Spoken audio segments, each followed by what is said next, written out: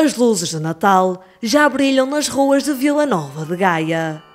A iluminação alusiva à quadra festiva foi ligada no dia 1 de dezembro, dando novo colorido a diversos locais do Conselho.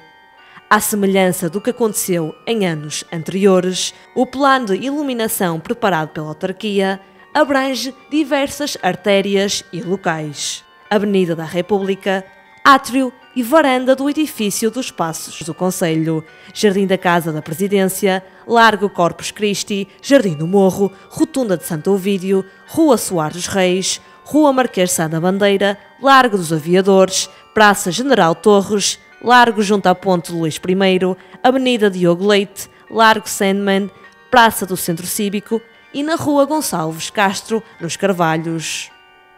O investimento municipal ronda neste ano os 330 mil euros.